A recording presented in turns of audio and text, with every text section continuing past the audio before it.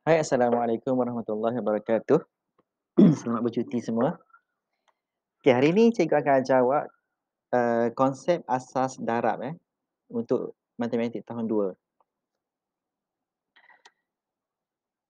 Okey, pertama sekali kita uh, pengenalan darab eh. Darab ialah proses penambahan berulang. Proses penambahan berulang. Okey, simbol bagi darab ialah macam mana? Ha, macam huruf X.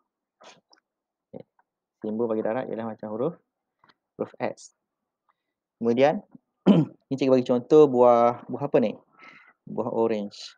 Okey, ada empat be, empat bekas semua dan setiap bekas tu ada tiga biji buah orange. Okey, kalau ayat matematik tambah darab ni ialah proses penambahan berulang. Contohnya 3 3 tambah 3 tambah 3 tambah 3 sama dengan 12. Ini ayat matematik tambah 3 tambah 3 tambah 3 tambah 3 sama dengan 12. Jadi kalau ayat matematik darab ialah 4 darab dengan 3 sama dengan 12. Okey, selepas ni cikgu akan ajar macam mana kita nak buat 4 darab dengan 3 sama dengan 12. Okey, kita tengok ke slide berikutnya eh. Okey, langkah untuk menulis ayat matematik darab. Okey, contohnya buah limau ni, buah orange ni ada dua dua dua bekas dan setiap uh, bekas ni ada tiga biji. Okey, ada berapa kumpulan orange semuanya? Ini soalan yang awak wajib jawab. Ada berapa? Ada berapa kumpulan orange semuanya? Ada dua kumpulan. Ini satu kumpulan, satu kumpulan.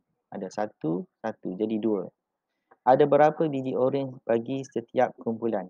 Setiap kumpulan ni ada berapa? Setiap ni maksudnya satu. Ada tiga biji. Berapakah jumlah buah orange semuanya? Semua sekali ada berapa? Satu, dua, tiga, empat, lima, enam. Okey, dua kumpulan. Ada tiga biji setiap kumpulan. Semuanya ada enam biji. Okey, sebelum buat ayat matematik darab, mesti awak kena tahu dulu kumpulan dengan ahli setiap kumpulan. Okey, ini ayat matematik darab. Okey, berapa darab dengan berapa sama dengan berapa? Sekejap eh. Okey.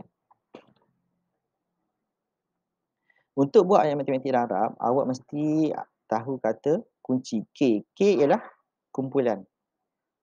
Yang kat depan sekali ni ialah kum kumpulan. Ada berapa kumpulan semuanya? Ada satu kumpulan, dua kumpulan. Ada dua. Awak tulis dua kat depan. Dekat tengah ni ialah ahli setiap kumpulan. Kata kunci dia ialah huruf huruf A. Okey, setiap kumpulan ada tiga biji buah orange dan semuanya ada 6 biji. 1, 2, 3, 4, 5, 6. Awak mesti ingat, mesti kena tulis perkataan ni. K, A, S. Ini kata kunci dia. Kalau awak terbalik, jawapan awak salah. Okey. Tengok eh. 2 darab 3 sama dengan 6. Dan 3 darab dengan 2 pun sama dengan 6. Jawapan dia sama. Walaupun jawapan sama, tapi konsep dia berbeza. Pastikan ayat matematik ditulis dengan betul berdasarkan gambar rajah. Okay, pastikan awak tulis ni. K, A, S sebelum tulis ayat matematik. Okey, contoh seterusnya cikgu tunjuk ayam, ayam pipin ni. Ha, semua minat ayam pipin. Okey, kita tengok kat sini. Soalan cikgu tanya awak. Ada berapa kumpulan semuanya? Okey. Kat depan huruf K, A, S. Wajib awak tulis K, A, S baru tak, tertukar. Oleh K. K ni masuk kumpulan. Soalan cikgu ada berapa kumpulan semuanya? Okay, ada berapa? Satu, dua, tiga. Ada tiga kumpulan. Tulis tiga. Okey, ahli setiap kumpulan ada berapa? Satu, dua.